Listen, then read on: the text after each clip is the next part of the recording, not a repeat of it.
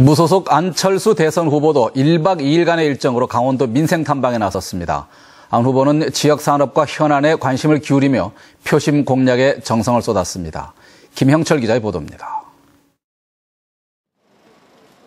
출마 선언 이후 처음으로 강원도를 찾은 무소속 안철수 후보는 먼저 원주 의료기기 테크노밸리를 방문했습니다.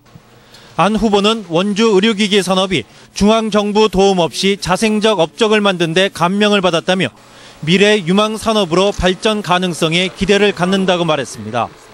지금 원주에서 하시는 일들 자체가 중소기업들 중심으로 해서 그 자생하고 있는 그래서 다른 그 지역 산업들에 굉장히 모범이 될 수 있는 그런 케이스라고 생각하고 안 후보는 이어 무의당 장일순 선생의 기념관을 둘러봤고 박명록에 더불어 함께 살아가는 사회를 꿈꾼다고 적었습니다.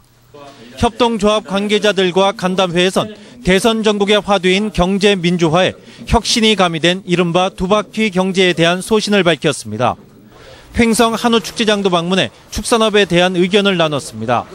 안 후보는 고속철과 동계올림픽, 원주 의료기기 산업단지 지정 등 강원도 현안 문제에 대해선 직접 현장을 찾아 챙기겠다고 강조했습니다. 현안 수건들이 있는 걸로 알고 있고 어, 직접 현장들 둘러보고 그 현장에 따라서 제가 그 저희들 정책이 있으면 그 현장에서 또 말씀드리도록 하겠습니다.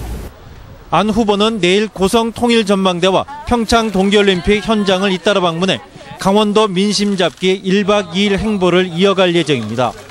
MBC 뉴스 김영철입니다.